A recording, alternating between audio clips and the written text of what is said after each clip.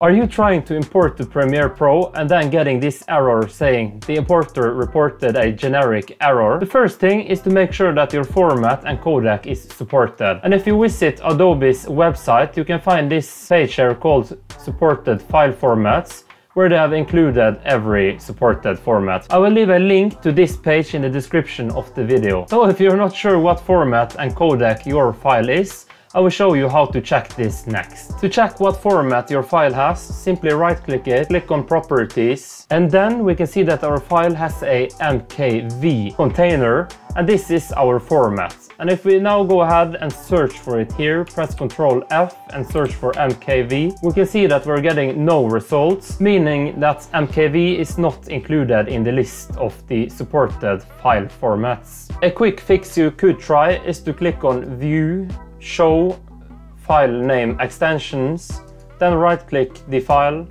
click on show more options, rename, and then change the MKV to MTS, hit enter and click on yes. Since if we go ahead and search for MTS here, we can see that it's one of the supported formats. So try importing your file like this, if not you will have to transcode the file. But first I will show you how to check the codec as well. To check the codec you can download a free software called VLC Media Player.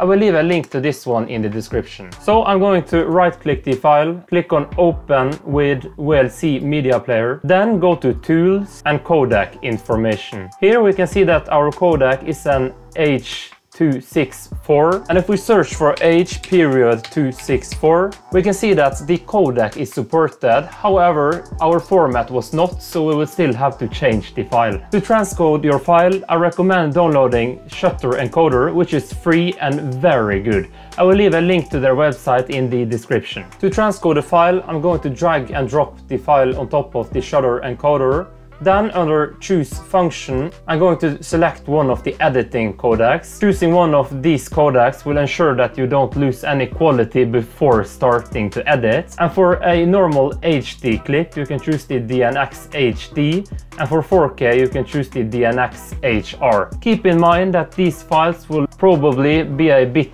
bigger than your original files. So if you're running low on space, consider choosing something like H264, but you will lose a bit of quality. So I'm going with the DNX HD and then I'm clicking on start function to transcode.